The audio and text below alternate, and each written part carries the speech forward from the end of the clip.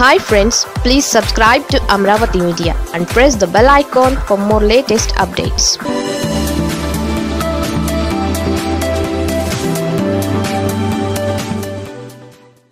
Jagan ముహూర్తం పెట్టేశారు.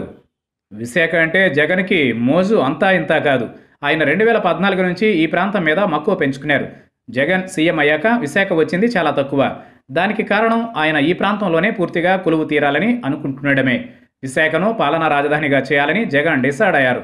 ఈ విషయంలో ఎవరిని చెప్పినా కూడా జగన్ నిర్ణయం మారలేదు.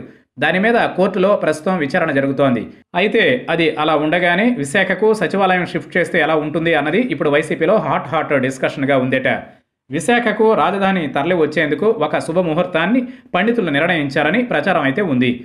విశాఖ స్వామీజీయే ఆ ముహూర్తం పెట్టారని కూడా అంటూ వచ్చారు.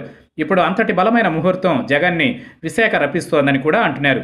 విశాఖలోని ప్రభుత్వ భూమిలో దాదాపుగా నూట యాభై కోట్లతో జగన్ సచివాలయానికి శంకుస్థాపన చేస్తారని ప్రచారం జోరుగా సాగుతోంది భీమిలిలోని కాపులుప్పాడ వద్ద సచివాలయం వస్తుందని కూడా అంటున్నారు.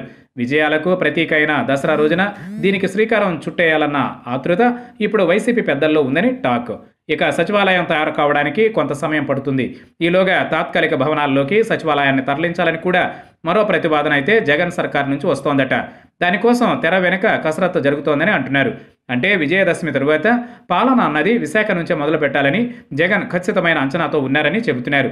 మూడు రాజధానుల విషయం ఇప్పుడు కోర్టులో ఉంది. మరి రాజధానిగా విశాఖను చేసుకుని పాలించవచ్చా అన్న చర్చ అయితే ఉంది. దానికి కొన్ని సమాధానాలు కూడా ఉన్నాయట. రాజ్యాంగంలో ఎక్కడ ఫలానా చోట నుంచి ముఖ్యమంత్రి పాలించాలని స్పష్టమైన నిబంధనలు ఏదీ లేదని అంటున్నారు. సీఎం ఎక్కడ ఉంటే అక్కడ నుంచి పాలన చేయవచ్చు. ఆయన ఉన్న చోటకే ఫైల్స్ నడిచి వస్తాయి. సీఎంతో పాటే మంది మార్బలం కూడా వస్తుంది. అందువల్ల ఇది రాజ్యాంగ విరుద్ధం కాదని అంటున్న వారు ఉన్నారు. ఇక సచివాలయం భవన నిర్మాణం విషయంలో కూడా భూమి పూజ తప్పు కాదని అంటున్నారు. ప్రభుత్వం తన అవసరాల దృష్ట్యా ఎన్నో భవనాలను నిర్మాణం చేస్తుంది. అవి ఎక్కడైనా అభివృద్ధి కోసం నిర్మించవచ్చు. సచివాలయం అని పేరు పెట్టకుండా భవన నిర్మాణానికి విశాఖలో జగన్ శంకుస్థాపన చేస్తే అందులో కూడా తప్పు పట్టాల్సిన అవసరం ఏదీ ఉండదని అంటున్నారు. మొత్తానికి జగన్ పట్టుదల ఏంటో ఈసారి విజయదశమి యావత్తు దేశానికి చూపిస్తుందని అంటున్నారు.